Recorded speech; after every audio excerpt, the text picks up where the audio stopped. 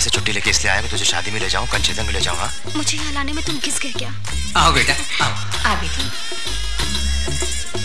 नमस्ते। जानती हो कौन है? नारायण मिश्रा का बेटा। अच्छा।